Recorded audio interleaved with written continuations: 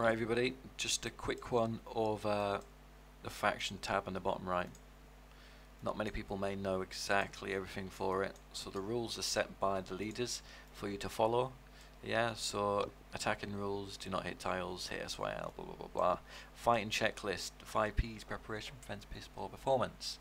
Yeah, fighting specialties on, fighting equipment on, attack boost on, crew size increaser on, Simple things like this go a long way, guys. Right? So try and drain that into your factions. When in doubt, shout. So important. Safety. Little tips on how to keep your troops safe. Right? Respecting everybody. Spying. Common rules. Yeah, just simple things, people. Simple things. That's all that's needed. Yeah. Ongoing battles. That's when you can see if you're being raided or if your faction's doing a raid. Yeah. So you can see when one of your guys are getting hit or if you're getting hit or if one of your guys is hitting someone else, or a little cop raid and stuff like that, like police station raids as you can see down there. That's where you can see all that. Building occupation. So Governor War wise, you can see where all your buildings are, if you own any buildings, and what buffs they can give you.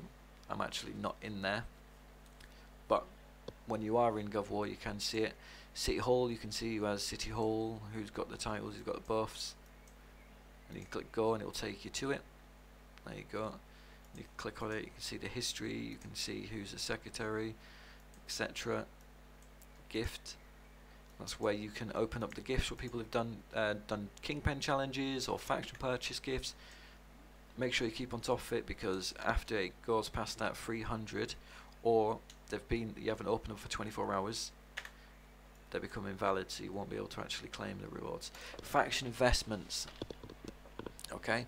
Always make sure you go for the recommended investment because it gives you 20% uh, rewards right? I don't have it on this account right? But on my other account you can auto you can you know quick donate and you always want to click the right option to do diamonds uh, gold sorry. Always do your gold. It just benefits you more and it benefits the faction more okay? So when you go through and you click this gold ones will pop up time to time up here. When they pop up you want to click them See, there you go. Click it. Just go through. Yes, it's a little bit of gold, but what you get in return is amazing, which we'll get down to in a second. Faction bookmarks. So if your faction has any bookmarks, you know, where you need to watch out or where you're going to be fighting next, awesome. Have a quick look in here. Keep up to date with your faction. See what they're saying to you in your faction log. Yeah, so personal bookmarks. You can add whatever you want in it. Obviously, this is just a farm account, so we don't actually have anything. But yeah, so it's just got silly little ones. You can also access it here, but you can also do it in your faction log. Faction shop, that's what I was saying just earlier. So when you donate to your faction investment, you get these coins, and these coins allow you to buy resources, speed ups, combat buffs for protection, attack buff, defense, crew size boost, boost, disinformation. So whenever you've got like um, troops inside you, it shows W. So if you've got 5 million troops, it will show that you got 10 million troops. Yeah, so it's so valuable to have all these you know, things for free.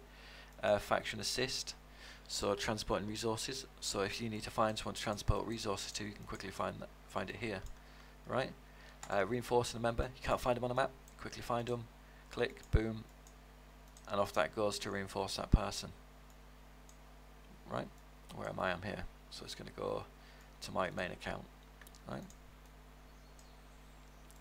So wheels on to faction assist, and you can obviously do it for stationing, which is similar to reinforcement, but I'll, I'll probably go into that at a later date. Faction help, if anybody needs help, you click on it, form all the time, do it the best you can.